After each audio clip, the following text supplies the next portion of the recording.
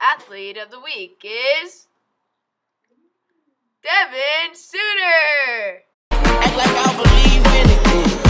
Sex on the beach and in the backseat. This could be us. So back to what I was saying. Could, could be us.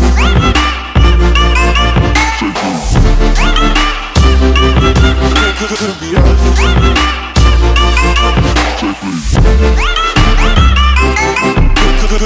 Bye.